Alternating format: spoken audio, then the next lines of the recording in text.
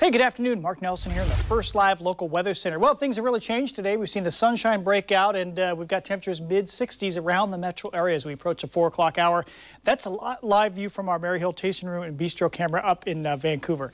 All right, same thing on the coast. It looks beautiful out there. If uh, My guess is a lot of you are already out at the coast or maybe on your way, but um, if you're headed out there, looks fantastic, at least for a decent chunk of the weekend. All right, look at those temperatures. Right now in the mid to upper 60s, we're going to see a big jump in the temperatures tomorrow as high pressure builds overhead. And you can see just during the daytime today, look how the clouds just evaporated away across northwest Oregon and southwest Washington. Okay, so if you're headed out this evening, looks great.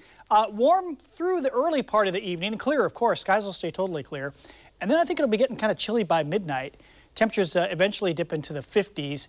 Coming up during our 4 o'clock show and then 5 and 6 and beyond into the evening, we will talk about what we expect not only here in the metro area this weekend, but also out at the coast and up in the Cascades, so stick around for that.